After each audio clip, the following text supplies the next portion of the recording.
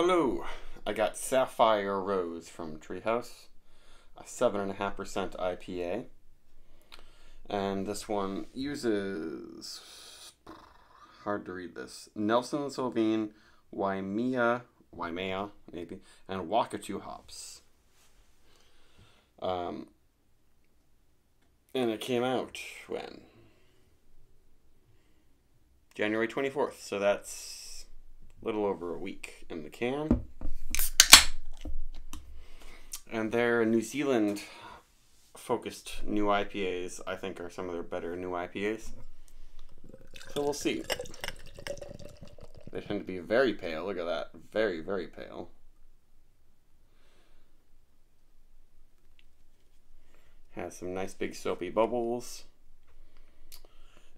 And maybe some dense ones in there.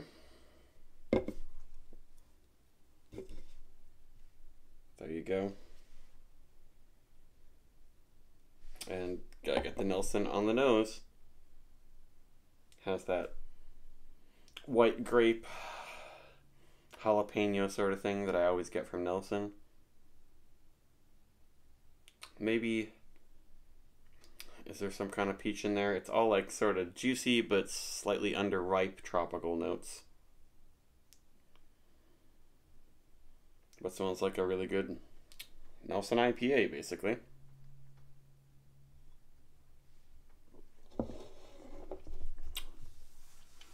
Mm. Tree House doesn't do many beers in the mid seven range. Yeah, like none of their single IPAs are over seven. And then I guess some of their double IPAs that are seven point seven they call double IPAs. This one they just call a New Zealand IPA. Whatever that means. Seems like a lot of New Zealand IPAs are more clear. But this one obviously isn't. It just uses New Zealand hops.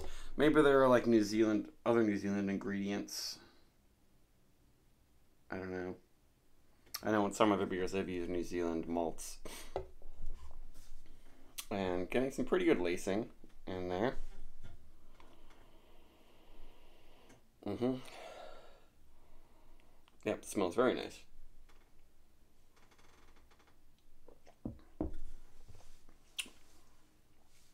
It's got a pretty good soft body. I kind of thought it would be a little bit bigger body, but it's not exactly a double IPA. seven and a half is kind of the area where some breweries start calling it a double IPA. The only seven and a half IPA that Tree House makes besides this, I think, is green, and they call that just an IPA, not a double IPA. That's this one. Um, dries out on your tongue, got a lip smacking sort of Sunny D type thing happening in the finish.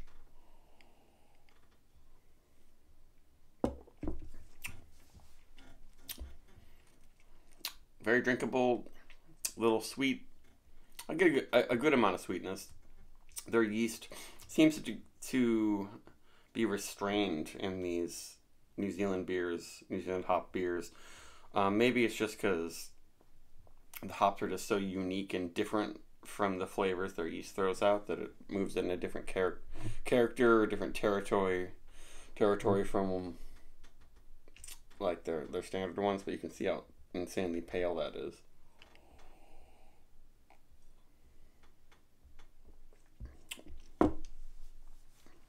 Yeah the bitterness is building up on this one. And it's quite clean. Yeah no throat burn or anything pretty easy to drink. Is there some sort of phenolic medicinal thing happening maybe a little bit? It's not really exactly boozy. Man, maybe it's a little bit boozy.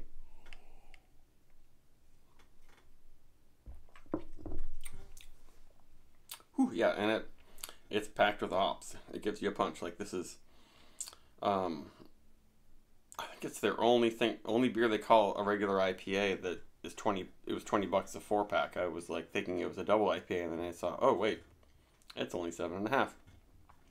One of the reasons I grabbed it, and it's pretty darn good. I had Red Fern on draft there, which is another New Zealand hop focused beer, but that was a double IPA, so it's like eight percent. I don't know. Maybe did I like? Maybe I like that more. This one's a little more drinkable Excuse me.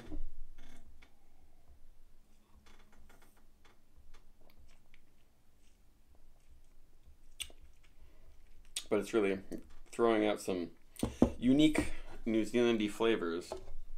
What do they say? yeah, white grape, Waimea adds a hint of citrus zest and woody undertones. Maybe it's yeah, it's a little bit woody, which isn't too bad. And Wakatu hops completes the experience with a richness of mixed tropical fruits. That's the thing. This is a New Ze- New Zealand hops. I don't often get like sweet, juicy tropical notes. People talk about that a lot with these, but with these hops. But I don't. I mean, it's not as ripe. I'm getting more like honeydew melon. Yeah, melon basically. I'm not getting big, juicy pineapple and peach notes, um, and mango. Maybe all those things, but underripe. It is good though. Very well made. And your average liquor store is not going to have something like this.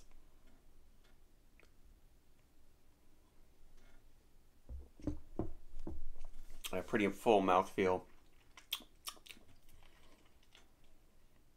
But do I like that woody note they mentioned? Um, I don't know.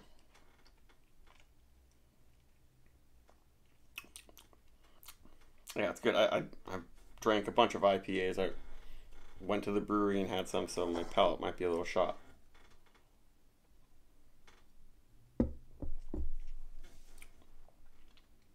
This one's just seeming a little too minerally to me. It's not full of the ripe juicy fruits that you might want.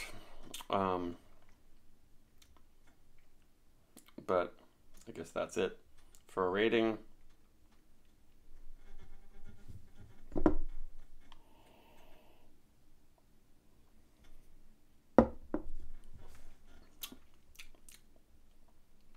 A little sweaty in some way. So I don't always. I'm not always against the sweatiness, but this one is it's not just hitting the super juicy notes, I would say. So I'd probably give it a 4.2.